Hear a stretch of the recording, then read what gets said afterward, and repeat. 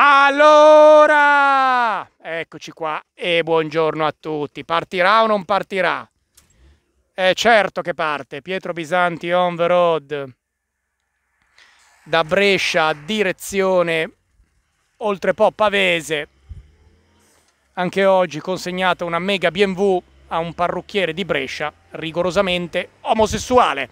Per chi non mi conosce mi chiamo Pietro Bisanti, dopo aver trascorso ben 23 anni all'interno dell'arma dei carabinieri Two months later, dopo essere stato promosso al grado di maresciallo capo, me ne sono molto più che felicemente andato per abbracciare l'igienismo. Cos'è l'igienismo? Ripristino, l'ottenimento e il mantenimento della salute, non attraverso pilloloni, non attraverso siringoni, non attraverso la moglie di Bassetti che dice Matteo piace ma è solo mio, tienitelo, ma attraverso l'osservanza delle regole non scritte ma al tempo stesso impresse a fuoco nel DNA di ogni essere umano da milioni di anni di evoluzione che sono sole, aria pulita, esercizio fisico compatibile, acqua pulita, alimentazione compatibile, la mia regola d'oro, fuori dai coglioni chiunque non venga a portarci nella nostra vita gioia e amore. Sono l'amministratore unico del sito www.pietrobisanti.it. Mi occupo di consulenze legali a 360 gradi, opero in tutti gli ambiti dove la legge non riservi tale materia all'assistenza di un difensore iscritto all'albo. Se avete bisogno di un parere su come muovervi nella vostra, legalmente nella vostra vita quotidiana, info chiocciolapietrobisanti.it, whatsapp 340 788 1174.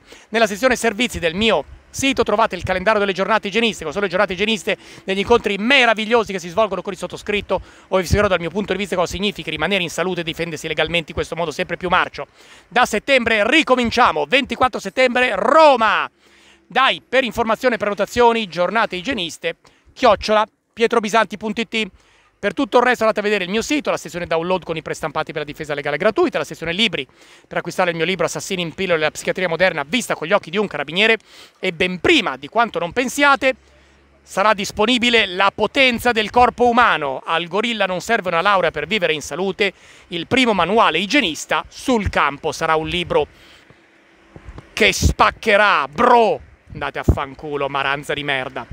Allora, eh, se volete sostenermi potete farlo attraverso una donazione alle coordinate che trovate nel sito, nella sezione donazione, oppure abbonandovi al mio canale YouTube. La mia informazione adesso è divisa tra informazione gratuita e informazione a pagamento. L'informazione eh, a pagamento potete averla attraverso abbonandovi al canale YouTube dalla pagina principale. Occhio se avete un telefono con iOS perché non funziona, dovete farlo da un computer, con Android va bene, oppure se volete bypassare YouTube potete contattarmi attraverso un versamento annuale una tantum, scusate, attraverso un versamento una tantum, cioè per sempre, avrete un abbonamento riservato, avete l'accesso al canale Telegram riservato, dove troverete gli stessi contenuti in abbonamento su YouTube. Se comunque nel mio canale, nel link, di, scusate, nelle note di questo video trovate il link al mio canale Telegram libero e alla chat del libera del mio canale Telegram. Iscrivetevi perché è tanta roba e oltretutto perché nel canale Telegram ogni tanto ci sono dei contenuti e delle notizie che non pubblico su YouTube. Ho detto tutto? Molto bene. In questo campo di mais ci sono mimetizzati tra una pannocchia e l'altra dei mascherati? Spero di no. Ed ora a bomba! Allora, scusate, è un camion che mi scassa i coglioni dietro. Certo, non si può mai andare al limite di velocità, bisogna sempre correre. Allora, avete assistito a i nubifragi, le tempeste, Milano, eh, tempeste di grandine, tornadi, alberi che si abbattono. Allora, signori, nessuno nega, ci mancherebbe altro che lo facessi io, la geoingegneria, e cioè il fatto che irrorano da anni i nostri cieli di merda, dando poi la colpa a uno che decide di farsi una doccia calda. Andate a fare in culo. Ma anche considerando la geoingegneria, eh, ritengo che i fenomeni estremi siano normali. Non sapremo mai se sono dovuti solo alla geoingegneria, se la geoingegneria è una concausa, se la geoingegneria non, non c'entra niente, sono es fenomeni estremi ciclici. Fa caldo, niente più, niente meno di come fa sempre caldo d'estate. Non prendiamoci per il culo. La differenza qual è? È che quando se tu continui a scrivere sui giornali fa caldo, fa caldo, l'emergenza climatica, fa caldo, è normale che il, il eh, covidiota della situazione utilizzerà questa ennesima arma contro se stesso per vivere male. Allora, la psicopandemenza è finita, senza ombra di dubbio. Chi è vivo è vivo, chi è morto è morto, chi ha i giorni contati, chi sperando per lui di aver fatto un placebo non ha i giorni contati, ognuno raccoglierà quello che ha seminato. Adesso eh, l'obiettivo principale sarà spaventare la gente all'infinito sul cambiamento climatico. Allora, anzitutto vi prego, anche se dovessi farlo io, spegnetemi e spegnete tutti i canali della controinformazione ove vi trovate a dover essere bombardati da milioni di notizie, conferenze dove vi diranno che aboliranno il contante, che la vostra casa non varrà più niente, eccetera. Come vedete, anche oggi sono andato alla BMW e la vita scorre tranquilla. Chi ha i soldi ha i soldi, chi li ha non li ha, la BMW in garanzia fa i richiami, tutto va avanti normalmente. La differenza tra essere vivi e morti è la differenza tra accendere il cervello e non accenderlo. Tutto quello che vi accade sarà sempre comunque frutto di una vostra decisione personale, anche con tutte le rotture di cazzo che continueranno a esserci. Ma fra una notizia del culo di Belen e del Rolex di Totti, vi infileranno sempre la rottura di coglioni per farvi star male. Personalmente mi fa, mi fa molto più male il, il Rolex di Totti che non altro. Quindi, detto questo, eh, adesso starà a voi con grande intelligenza ehm, capire come muovervi. Allora io vi do qualche spunto. Allora, come dico sempre, a febbraio del 2020 hanno chiuso per poi riaprire a maggio. Il primo lockdown, il più difficile, no? Perché hanno capito che la gente stava sbroccando. Significa che non accadrà mai, mai, niente che possa turbare la società civile in una maniera tale da far scaturire un moto di rivolta vero e proprio anche dai più addormentati. Tutto sarà sempre eh, blando, sfumato, progressivo. È vero, nessuno nega che, per esempio, a livello dei supermercati ci sono stati degli aumenti importanti. Anche lì, io torno oggi da un supermercato che si chiama il Rossetti, Rossetti o Rossetto, Rossetti, che è una catena di Brescia, dove ho trovato a 99 centesimi l'acqua lauretana a un litro in vetro. L'acqua in vetro eh, gasata più a buon mercato è la San Pellegrino a Milano che trovo all'Esselunga 1,29-24 Ho trovato veramente dei, mh, mm, trovato del salmone selvaggio, veramente un sacco di prezzi veramente che spaccano. E anche lì tutto sta a voi. Il, il, la cosa che non mancherà mai è il cibo. Perché? Perché la produzione agricola, eh, di allevamenti, di frutta, al netto di tutti i nubifragi che potranno esserci nel mondo intero, è elevatissima e molto di gran lunga superiore al fabbisogno delle persone.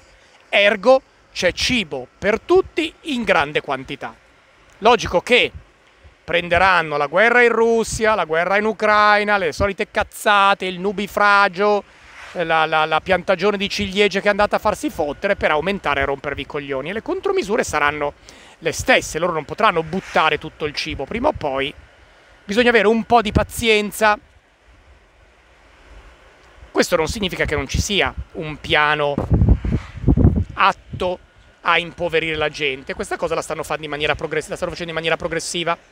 E quindi l'unica maniera per, per reagire è fare, prendere le decisioni giuste, non indebitarsi per le cazzate, eh, andare a guardare le offerte, eh, guidare una Fiat Uno come faccio io che se vi si rompe la marmitta la pagate 50 euro e non le BMW che vedo continuano a uscire dalle officine di BMW dove, eh, signori miei, è eh, così, non ce n'è.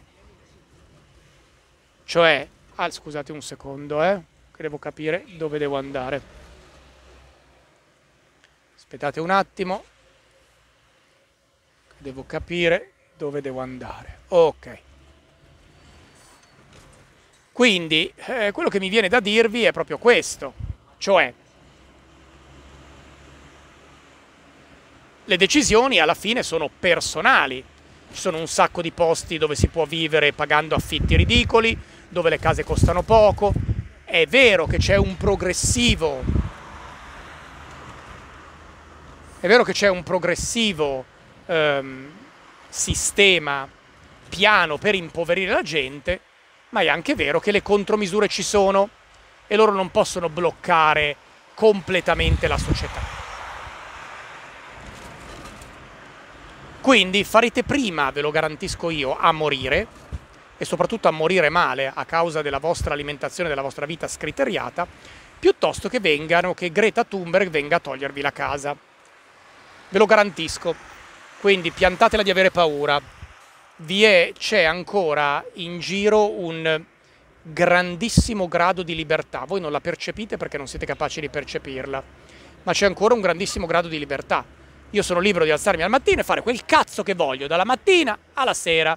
Sì, l'altra volta mi hanno fermato i carabinieri, 10 minuti del mio tempo e via. Quindi, se finite in ospedale ci finite per colpa vostra, se finite male ci finite per mano vostra. Oggi ho ricevuto l'ennesima chiamata di una persona sotto psicofarmaci che mi dice eh, sono così perché mio padre, tutti che litigano, tutti che fanno figli senza sapere quello che stanno facendo, gente che si mette insieme senza sapere quello che sta facendo. Tutto va fatto dal mio punto di vista con grande maturità. E alla fine vi posso garantire, continuerete a capire che sono le vostre decisioni che vi portano in un certo modo, vi fanno vivere una certa vita e non le decisioni prese da quattro burattini gestiti da quattro eh, eh, pedofili satanisti. Ok?